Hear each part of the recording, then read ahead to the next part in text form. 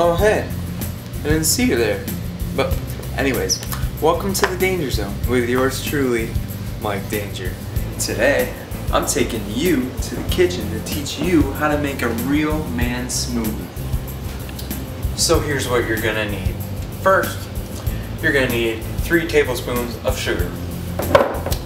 Next, you're gonna need three fourths of a cup of strawberry banana yogurt. Gonna need a bowl of strawberries. Strawberries are good.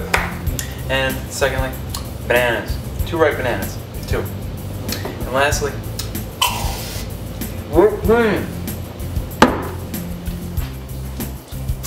Now, most importantly, you're gonna need a blender.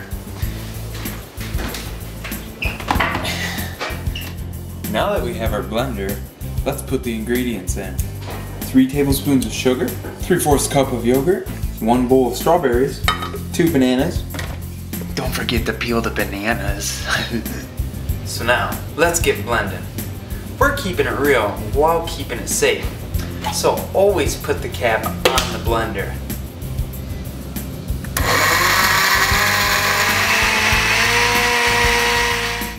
The smoothie's ready to eat, but there's one thing missing.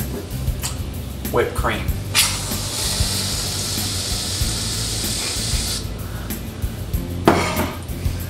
Thanks for watching The Danger Zone. I'm Mike Danger with MUTV.